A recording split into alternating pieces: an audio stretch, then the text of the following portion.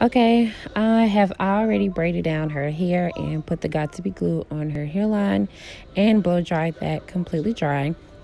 Now, I do not use the um, regular stocking cap that um, you can find in a beauty supply store. I actually use the sheer stockings. You're going to see me place it on her head now. Um, I got it in the color beige and then I also get it in the color suntan.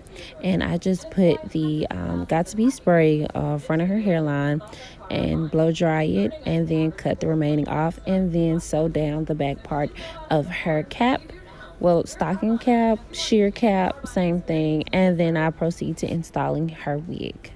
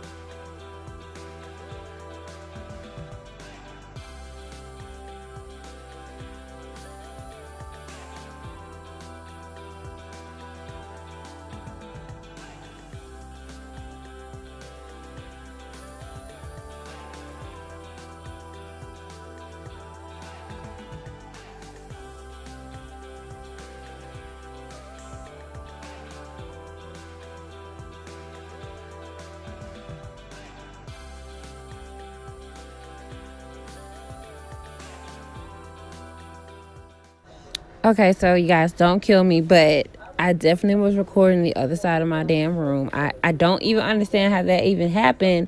So, like, for 15 minutes, I have my auntie underneath the dryer falling asleep. It's just like, what is going on here? So, yeah, I just completely molded down the front part of her hair with Nairobi and then wrapped it and set her underneath the dryer. So that's basically it of everything that I did right here. Um, and then I also cut the lace as you can see and that's pretty much it. So now I'm just um, straightening out her hair with the straightening comb. You can use the electric comb. I just like the straightening comb a little bit better. Um, and then I'm going to do some barrel curls in her hair and I'm going to straighten at the ends to give her like a beachy wavy look. And she has a middle part, no baby hair um, other than uh, where her earlobe is and that's it. And then i also use concealer on her part. Um, i actually go a lighter uh, skin not skin tone but a lighter complexion than the one that i actually put all over her legs which was the fawn. So the lightest one that i think i believe i put on if i'm not saying the wrong number I can't think of it right now, but I will put it in the description bar um, of the lighter complexion that I use to define the part. So that's pretty much it. Um, the hair company is Elemo Hair. You can find them on Instagram, Facebook, and also go to their website. They sent me a 12 inch um, full lace wig. It is medium lace um, color. it was already kind of pre-layered but i added some layers in it even more. And um, hair texture is really good. Um, i'm actually going to do a full review with my client to see how she likes the hair. This was both our first time using this so i can't give you guys a real good review yet um, but it did bleach. Its knots well. The frontal wig came pre-plucked so I didn't have to do too much plucking other than the part. So it's very begin bleh, beginner friendly if you are a little nervous with using lace material but for the most part, it did good. I think my client will be able to maintain this short look.